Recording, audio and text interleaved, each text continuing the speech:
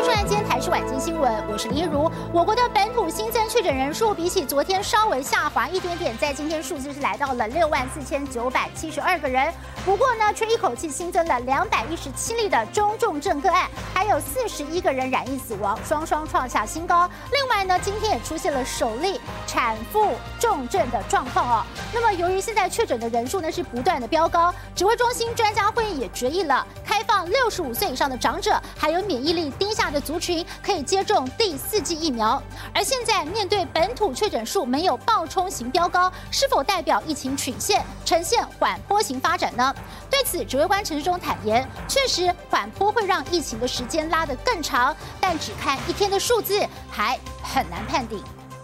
台湾本土疫情稍不停，十三号新增六点四万人染疫，虽然较前一天下滑，但重症人数却激增两百一十七例，当中还有一名二十多岁女子在生产后大出血验出阳性，她也是我国首例产妇重症个案。至于新增的死亡人数更多达四十一人，同样创新高。我们从之前的万分之二，然后就上升到万分之二点四，今天已经来到万分之二点八。从英国的数据也告诉我们，他们的八十岁以上的群组。完全没有接种疫苗的致死率是百分之二十二。以上这来说，因为免疫力较差，感染后反而不容易发高烧，到时要留意四大危急征兆，包含嘴唇八紫、呼吸困难、意识改变和胸口闷痛，都要立刻就医。就怕中重症死亡数飙升太快，指挥中心专家会议也决议，让六十五岁以上长者还有免疫力低下族群，只要间隔五个月就能施打第四剂疫苗，最快下周开放施打。而面对我国本土确诊数不升反降。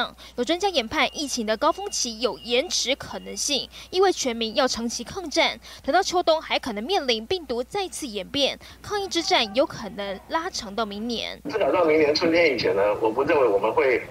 会活在一个没有没有新冠肺炎的时代。相对的缓坡，那时间就会拉得比较长。